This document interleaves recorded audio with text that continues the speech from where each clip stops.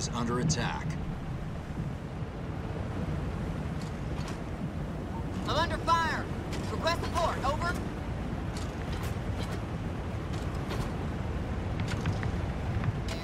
We've reduced an enemy structure to rubble. Just a quick disclaimer before we get started. Uh, hello, guys.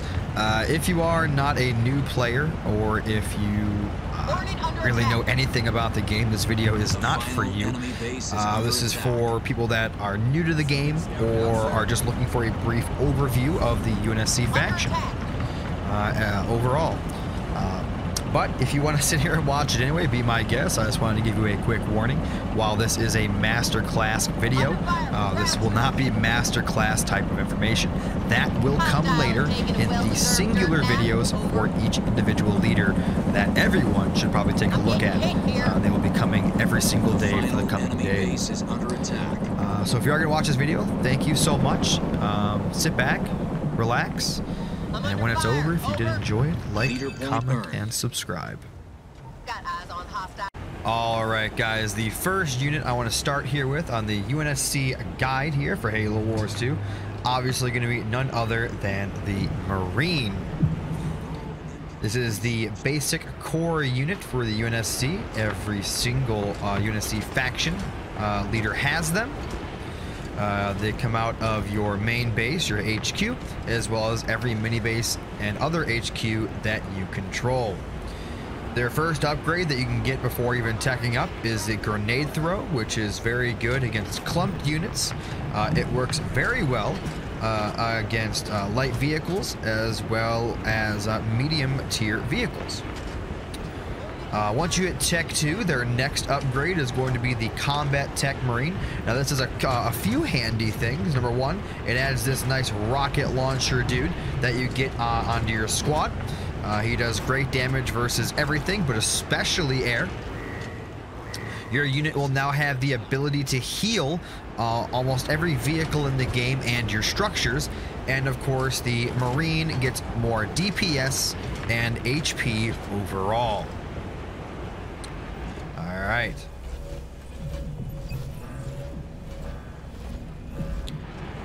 Now, moving into the Hellbringer. This unit is very, very strong, uh, and that is very good at taking out structures, as well as every type of infantry unit in the game. Uh, they are very, uh, they're a lot, they are a little bit quicker uh, than Marines. Uh, they move, I think, at one speed faster than Marines do. And when a Hellbringer gets its Tech 2 upgrade, which is the dispersion nozzles, the fire on the ends of the guns will actually change to a bluish purple, as you guys just saw.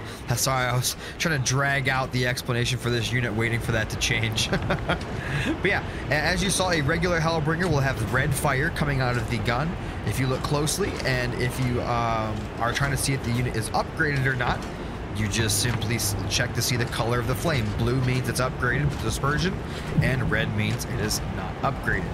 Either way, this is a very, very strong unit for getting in and out of the action, taking in clumps of uh, other infantry types units in the game, uh, as well as doing nice hit and runs on structures. Now, moving on to the Cyclops. Uh, this unit is uh, pretty quick. It is a, it's technically a mech infantry unit, but it still counts as infantry, so snipers and whatnot and rangers still do a lot of damage to it. Uh, this unit is based for uh, anti-vehicle, so uh, it does very well versus every single type of vehicle in the game. Uh, it's got an upgrade tier 3 called shock rounds. Uh, it adds the ability for this unit to slow down any vehicle that it hits, allowing it to catch up, or the rest of your army to catch up to what you're shooting at. And for our next unit, it's going to be none other than the Sniper. Uh, this is a very, very nice unit, especially in the hands of someone willing uh, to micro it. Uh, this unit has one of the longest ranges in the game, the longest range, in fact, for an infantry unit. Uh, very strong versus every type of infantry in the game, obviously. Uh, it's got a Tech 2 ability that it allows itself to cloak, so it can actually uh, go in and out of battle without being seen as long as nothing's detecting it. Also, speaking of which, the sniper is able to detect other units. It's got a very, very large detection range to find those cloaked bases and units out on the field. The next unit is going to be the Warthog. Now this hog is actually already having its tier 3 upgrade, which is the Gauss cannon on the back there. Actually looks really sick. They did such a great job with the graphics on this game. I'll give them that. It's so pretty. uh, this is your tier 2 core vehicle unit. Uh, this is very good versus, uh, you know, just your general other vehicles. Infantry does okay uh, versus structures. It's subpar versus air, but that's not really its job. It's just for the main DPS portion of your army uh, mid-game. If you don't build a lot of these, I would suggest just going straight into your Tech 3 vehicle once you hit Tech 3 instead of getting Gauss. But if you already have a bunch of these in your Tech 3, feel free to get the Gauss upgrade. Uh, it adds uh, quite a bit of utility to the vehicle. Uh, my favorite part of the Gauss upgrade is the range uh, that it gives to the unit. Speaking of ranged units, now we're moving into this, a Behemoth. Uh, this is going to be the Kodiak. Now, this unit is going to be your artillery for the UNSC. Uh, while it's driving around, it actually has this little minigun on the front that it uses. It's basically useless, mostly cosmetic, but it can take out very light infantry units or uh, maybe snipers or things or rangers if they're too close. Uh, once you've used your Y ability, it will lock down into its lockdown mode, giving it the uh, name Kodiak, which allows it to actually shoot extremely far and uh, do heavy amounts of damage to anything that it uh, strikes upon. Uh, a, bunch, a few of these lined up on some high grounds on any map uh, will allow you to take a fight uh, in full confidence, knowing that your opponent will get rained down upon uh, before the fight even begins. Uh, this unit actually has some special abilities when in the hands of Anders and Serina, but stay tuned for those leaders' guides uh, to get more detail on that. Now, of course, we move into the Jackrabbit. This is the main scout vehicle for the UNSC. Uh, you're able to build these out of your main base, just like Marines, just like Marines also. You can build them out of your mini bases. Uh, they're your main form of scout unit as well as your early tier vehicle. They have the ability to uh, stutter step, which means you can click the ground and then click what you're shooting at over and over. And this unit will actually have an increased fire rate. Uh, basically, uh, the game developers are allowing micro to give you an advantage, which I'm okay with in a way. As long as, uh, as, long as both controller and mouse and keyboard can do it, which they can, uh, which makes it okay. This uh, unit's upgrade is the support drone uh, that you get from your main base. It costs 450 yellow. Uh, it allows this unit to uh, have detect. It's actually got a very, very large detection radius as well as view radius. Uh, the support drone also does a little, adds a little bit more DPS to the unit, shooting a little minigun on it. Uh, and um, most importantly, this allows the unit to heal itself out of combat. Moving on to our next unit, the Wolverine. Now, this is going to be your main anti-air vehicle uh, for the UNSC. This uh, unit is very fast. It does substantial damage to air, has no special abilities. However, it does its job just fine. Just make sure you get those vehicle upgrades to allow it to dish out a lot of damage as well as take it. Moving into our next unit, ladies and gentlemen, this is the Tier 3 core vehicle for the UNSC. This is the Scorpion tank. Now, this unit uh, has been through some uh, some tough past. It was buffed, debuffed, buffed, debuffed, buffed, debuffed uh, throughout the seasons, but now I feel it's in a very strong position. It does a lot of uh, damage to basically anything it can hit. Its little minigun absolutely shreds uh, light infantry. Its cannon does devastating damage to all types of vehicles and structures. And uh, I'm happy to say that the Scorpion tank is a staple in the Halo Wars 2 UNSC late game. All right, now moving into oh, also the Y ability, the special ability for the tank is of course the canister shells or canny, as it's called amongst players. Uh, what this does is it fires off a single shot that does explosive damage in a large radius uh, to other units. Now, this unit actually has a uh, even more special uh, ability with Isabel, but stay tuned for the Isabel leader guide uh, for more information on that. Next up, uh, we have the first core air unit for the UNSC. It's going to be the Hornet. This unit is uh, very fast. It does a lot of damage. Uh, it's kind of uh, not very tanky, obviously. It's a it's very light air unit, but it gets in. It does a lot of DPS, and once it hits Tech 3, you get Wingman, which allows it to do more damage to anything that you're shooting at uh, as well as giving it some more combat effectiveness overall, HP damage and all that. Once this unit has all of its air upgrades and has some uh, support, uh, it's very, very devastating, especially if your opponent is not ready for air. Moving into our next unit, the Nightingale, named after Florence Nightingale, uh, one of the um, big, uh, big-time nurses that uh, are, is, is part of our century, and what this is actually named after. Uh, you can actually look her up uh, online if you're interested. But that's who this is named after, a nurse. It's actually kind of perfect because this unit heals. So, in the end, it of makes sense. Anyway, so the Nightingale, uh, it can heal up to three units or structures at the same time. Uh, uses its little drones as long as it's close enough. Uh, this unit, uh, very good support. Want, it's kind of like that unit you have to have in all of your armies. It has the ability to detect as well. It is the main form of detect, in my opinion, in the UNSC arsenal because you always have it. I mean, it's always good to have a, a couple of Nightingales, usually three to five in your army, depending on uh, what your total population is. Uh, and of course, it has the Y ability to smoke. Now, a lot of people I get questions about this. A lot of people don't know the smoke from the Nightingale. Now, how this works is any unit that is inside of smoke. Doesn't matter if it's yours, matter if it's your opponent's, doesn't matter if you have either of you have detect. It does not matter. If a unit is sitting inside of smoke, it cannot shoot out of it. Now, a unit that is in smoke is invisible unless detected. So, if you have a unit and it's inside of smoke, doesn't matter if it's your smoke or your opponent's smoke, if your unit is inside of it and your opponent does not have detect, they cannot see the unit inside of the smoke. Now, you can shoot at units inside of smoke as long as you're able to see them with detect. So, to put it shortly, units in smoke is usually a bad idea uh, if it's your own units because they can't shoot out. However, there are instances where you can try to save a unit using smoke by smoking your own unit if there's no detect nearby and putting the Nightingale inside the smoke as well to heal the unit. It happens with Spartans all the time, more than you might think.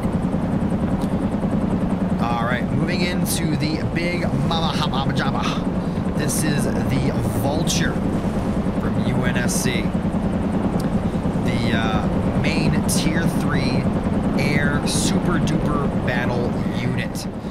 Uh, this unit is, what can I say, it's good against literally everything, probably except anti-air in large numbers. And of course, it has that Phoenix missile liability that basically one-shots almost every unit in the game except for the very, very high HP ones.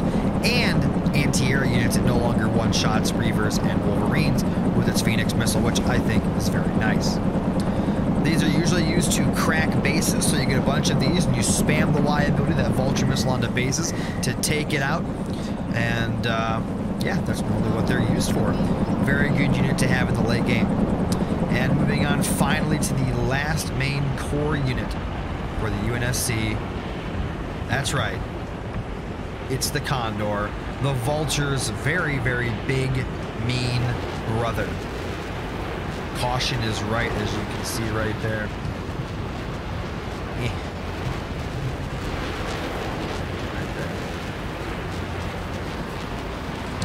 Anyway, guys, so this is your super ultimate unit for the UNSC.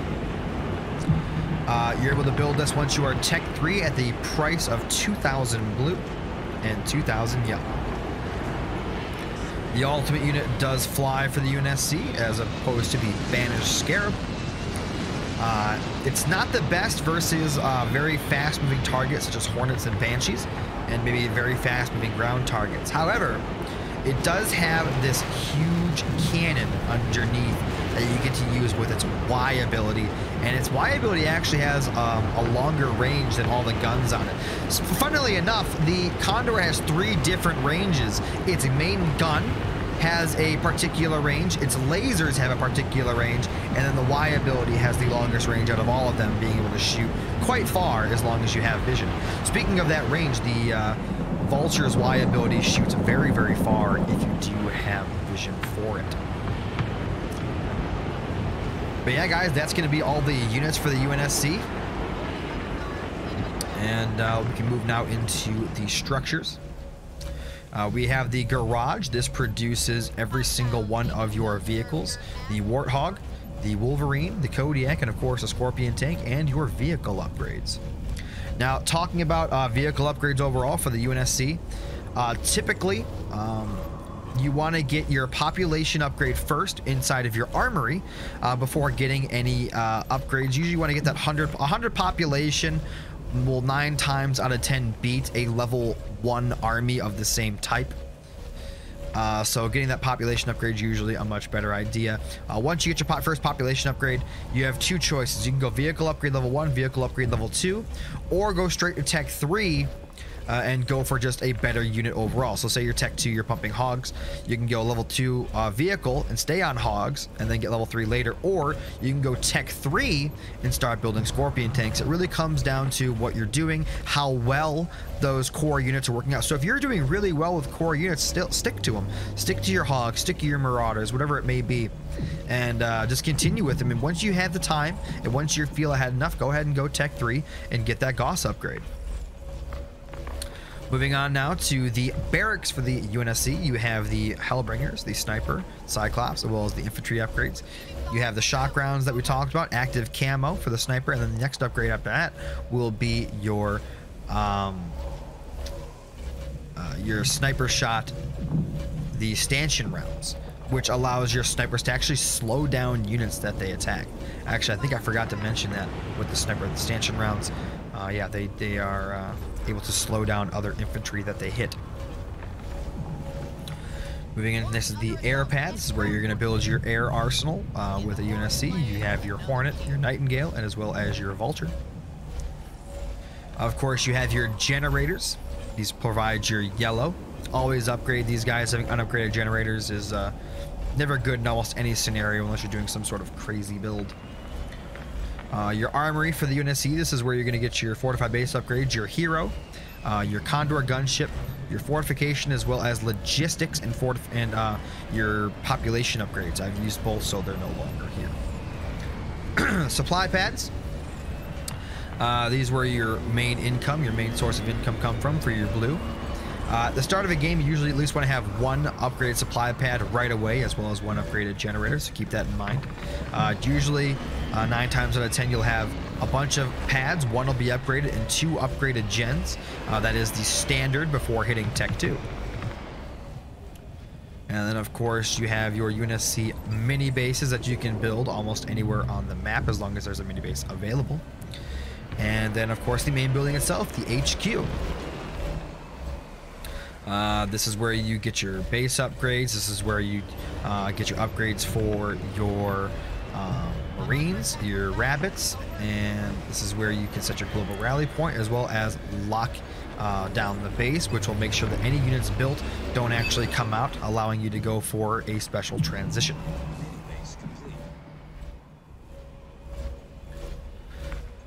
Huh? Other than that, I think that's going to be it for the UNSC uh, simple guide here. I hope this guys gave you some nice information as to the uh, simple um, information available for this faction. Stay tuned, guys. This is just a basic masterclass guide here uh, for the UNSC, and the real information will be embedded in the singular leader guides coming up next. Thank you guys so much for watching. Uh, this is Yodesla, and I'm out.